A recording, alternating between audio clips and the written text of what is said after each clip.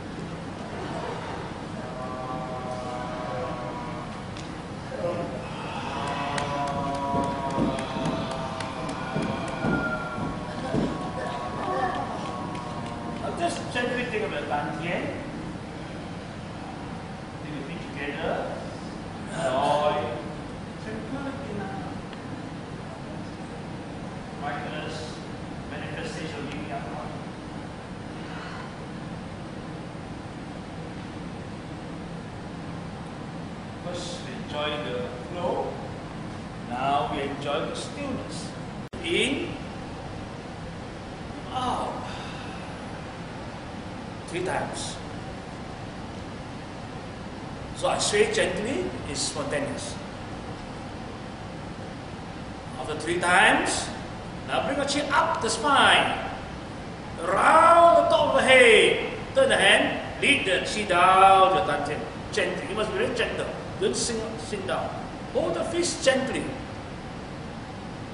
So take me as a mirror image over the right hand, half a distance, not too wide, back and double the distance so that your midpoint is now in the center. See that you are upright, you are relaxed, but your head will be charged with energy, then just sink down, sink down, pause an instant. A bit lower, also a bit high. My, my earlier standards was like this. I found that a bit uh, pyramid shape give me better result. If it's a box shape, then you lock up the energy. Your, mus- your mu- muscular power. Pyramid shape, the chi flow down to dantian, root me to the ground. So the feet should be quite parallel. Bit lower, so your pyramid shape. The hand open up like this. Okay, now return, return your right. Just bend slightly to your left, so that you can free the, the dimension yin. Your right toes point to northeast. Presume you're facing north. Now, turn your waist. Turn your waist. So that you are facing northeast. Uh, you are facing east. Okay. You turn a bit. Why is like the effect of like turning a screw? You're rooting yourself to the ground.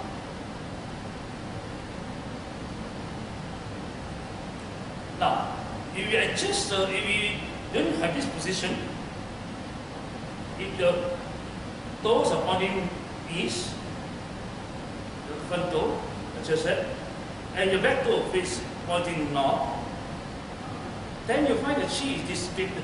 Even a, a little hard to turn. It, you lock it. A lot of people doing wushu is doing this. Those doing Chinese young South Asian also doing this. But they are a bit white. White, huh? Out of.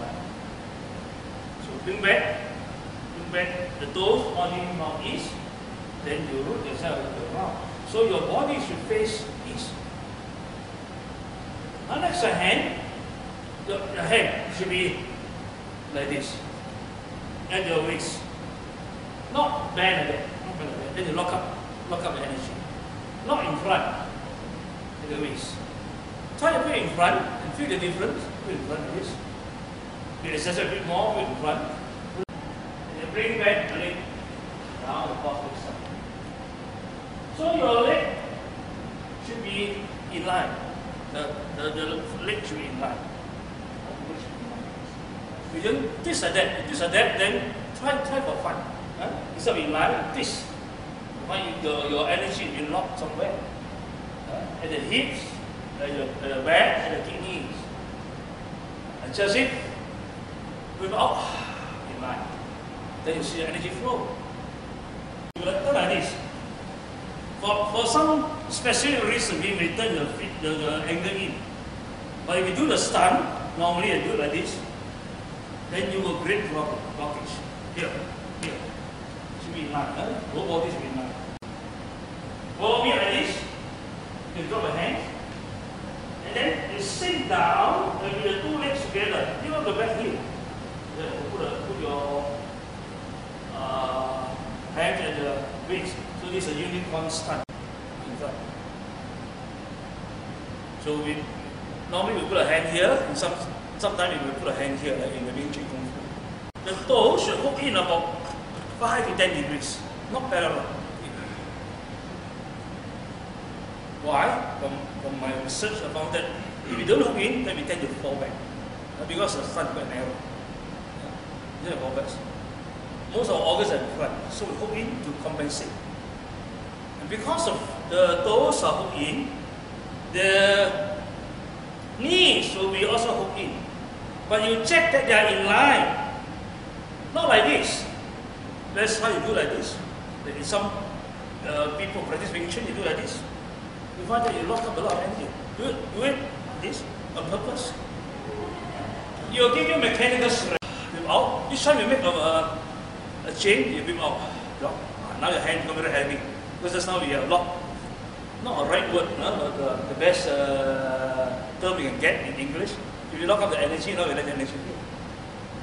Now you hold back. Still flow, but it's more of consolidating. So you can see the arms are strong, energy store here, and you also root to your ground. So Tai Chi we do this because we the qi flow. Huh? In we do this more focus on the